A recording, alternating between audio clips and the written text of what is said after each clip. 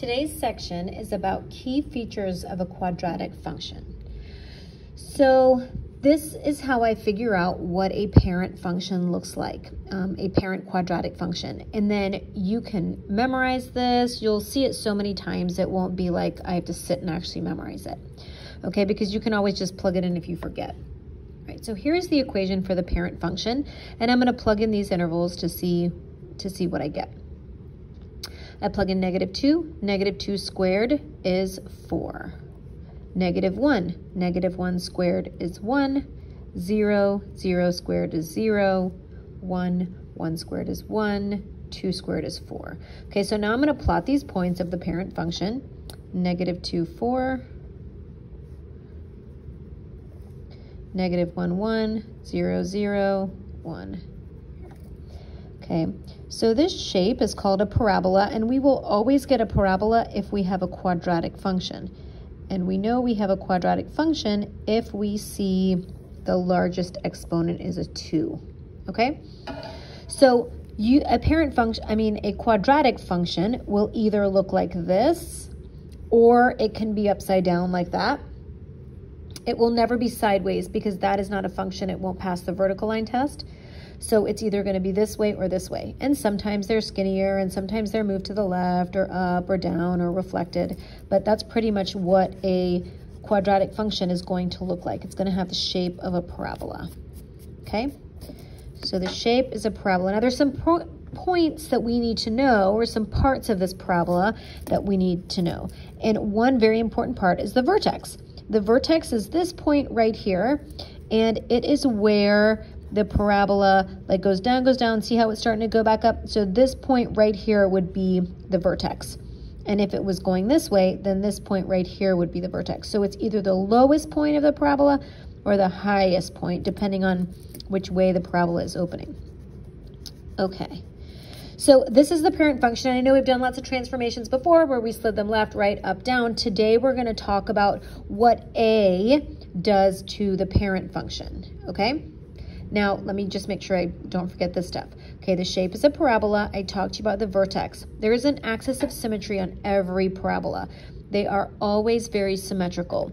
So if I take this parabola and I fold it over, right, I fold it over this line right here, then that is the axis of symmetry. And most of you guys know what, what an axis of symmetry is. And you would say that x equals zero. Because on the x-axis, this is the zero, and the line goes like this. This is where x equals zero. So every parabola, when I ask for what is the axis of symmetry, it's gonna be x equals something, all right? Because that's a line. We can't just say it's zero. We have to say x equals zero. It's that entire line. Okay, so let's talk about how A affects the parent function. So if I just had to draw a small sketch right here, I would say, okay, this is the parent function. I don't mean for it to look like a V, I mean for it to look like a U. Okay, so if that's the parent function, that would be this one right here. This would, that would be f of x. All right, so I'm going to change, or I'm going to put a 2, a coefficient of 2. So if the value of a is 2, what's going to happen is, if this is the parent function, it's going to get skinnier. Just think of it like a bigger slope, right? It's steeper, okay? So it's getting twice as skinny, so it's going to look kind of more like that.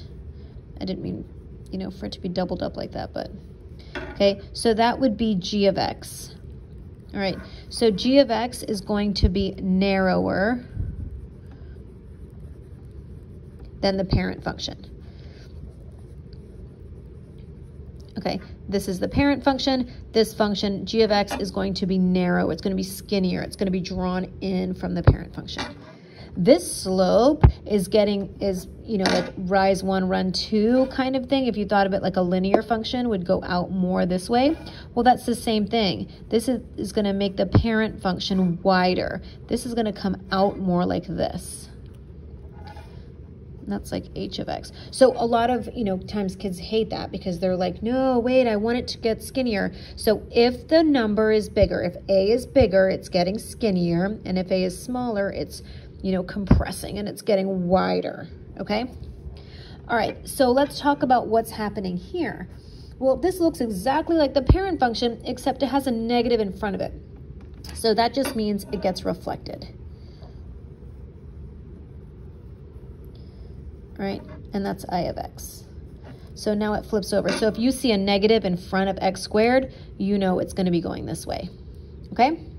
Now let's talk about the domain and range. So domain is what numbers I can put in or like if I look on the X, if I looked all the way down here and eventually went up, yes, I would see f of x. I would bump into g of x. I would bump into h of x. I would bump into i of x. Another way to look at it is what can I put in, what values can I put in for x? Well, in all of these functions, I can put in negative numbers. There's nothing that says I can't put in negative numbers. I can put in decimals. I can put in every number I can think of. It, it, I mean, I might not get a nice answer, but I can put it in. So for f of x, g of x, h of x, and i of x, my domain for all of them is all real numbers. Now, when we talk about the range, it's a little different. Let's look at let's look at f of x. f of x is up here. Well, I can see that no part of it, because this is going to extend, like there's arrows here, this is f of x only, is not going to be down here. It is only up here. All right, so I will never get a negative answer. Well, let me see. If I put a 10 in here, I'm gonna still I'm gonna get 100. What if I put a negative 10? I'm gonna get 100. So I'm never it's never gonna spit out a negative answer. So the range for f of x and you can see, well, wait a second, all of these g of s, g of x, f of x, and h of x are all up here. They are all going to be going up, up, up, up, up, and um, they aren't going to be down here at all. So all of their ranges are x is greater than, I mean, sorry, not x, y. y is greater than 0. All right, because that y value is going to be up here. And then for I of x, you can see it's the opposite. It's down here. It's never going to be up there, no matter what I put in. If I look here, if I put a negative 10 in, negative 10 squared is 100, but then I have to tack on that negative, it still gets me negative 100. So for I of x, the range is y is less than zero because it's always gonna be down here in this negative zone or it might touch the zero, okay? One other, um, oh, okay, so what happened up here? Sorry, it reflected.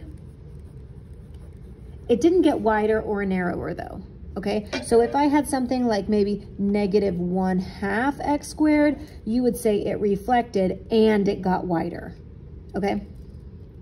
All right, now let's look at this bottom part where it talks about over what interval is, and I gave you a new f of x, increasing or decreasing. Well, you should be able to figure it out just by looking at here. Okay, but sometimes if you can't, you can look at a table and sometimes they'll just give you a table, so why not use it? All right, so I wanna talk about what this means. If I have a in your mind, if I say, what is the parent function? You should already kind of be able to draw a little sketch of that, right? This is the parent function, looks something like that. Well, if I tell you that f of x is 4x squared, what did we say that does to the parent function? It makes it four times skinnier. So we're gonna say that f of x, I don't have to be perfect on this part, f of x is gonna look something like this, right? Okay, so where is it increasing and where is it decreasing? Well, I know sometimes we like to think that it's going up here and it's going up here, but remember we always read a graph from left to right. So we're actually starting here and we see it's decreasing, decreasing, decreasing, decreasing until it gets to the vertex and now it starts increasing, increasing, and increasing. So according to this picture, right, it is decreasing when x, it's decreasing over here, this part, because this is where it's going down.